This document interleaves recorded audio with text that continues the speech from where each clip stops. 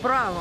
House of Gucci made 80s fashion cool again. HBO's Succession refreshes boring business wear into sassy staples. This life is not for everyone. Now, style expert Nicole Pearl from TheBeautyGirl.com is taking the top on screen trend Monochromatic looks and rich fabrics are a big trend. and tailoring them for your 2022 closet. Here's a bold business look inspired by Lily Collins' Emily in Paris. While you're here, fall in love. This plaid print, long blazer. We've seen celebs like Kristen Stewart loving this trend. And of course, the perfect accessory is a faux leather beret. The 80s silhouettes from Lady Gaga's House of Gucci are here to stay.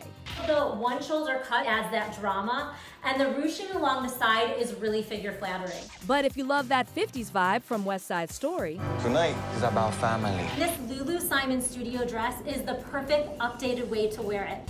headed to someplace warm, pack easy breezy dresses. This $84 dress was actually spotted on Meghan Markle and it doesn't wrinkle. This dress was actually inspired from the beaches of Hawaii where the White Lotus was filmed. I don't think it's the most romantic hotel in Hawaii, do you? And the 90s are back. Stranger Things season 4 is all over this trend. I am ready for spring break. This look echoes that 90s grunge style, plaid button down, mini skirt, and this Pangaea bag is the updated version of the fanny pack Scene stilling style, we love it.